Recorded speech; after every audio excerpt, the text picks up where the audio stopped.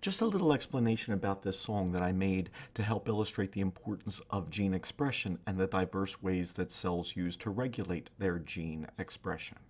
So it's not just a question of which genes a cell may have, but which genes it is using or expressing. So the difference between, say, a liver cell, a bone cell, and a brain cell is not the genes they have, they all have the same genes, it's which genes they are using.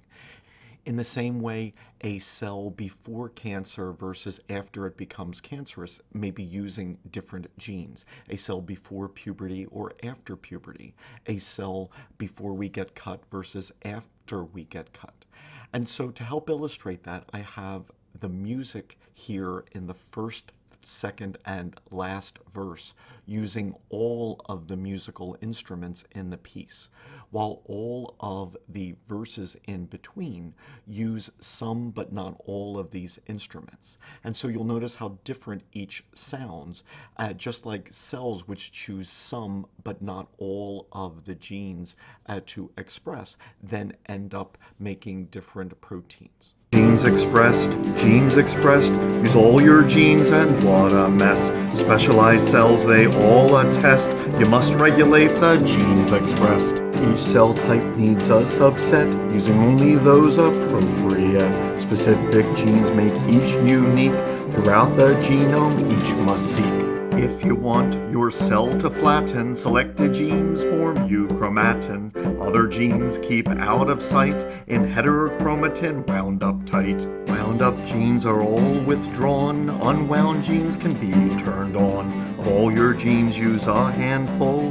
This control transcriptional. Transcription control another way. Have proteins bind to DNA. Proteins made when time is ripe. Unique sets for each cell type.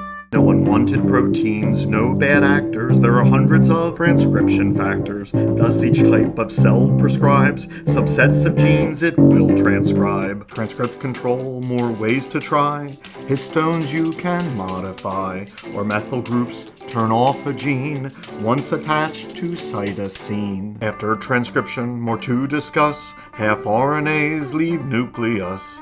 Base is altered, it seems strange. Editing makes sequence change. Exons joined mRNA became. Not all cells will splice the same. Alternate splicing the same gene. Different forms of a protein. Longer sequences prevail, varying poly-A tail. Other factors have a role in translational control. Protein still can be repressed, in Golgi may be processed. Ubiquitin can change their fate, phosphate groups may activate. Genes expressed, genes expressed, use all your genes and what a mess. Specialized cells, they all attest, you must regulate the genes expressed.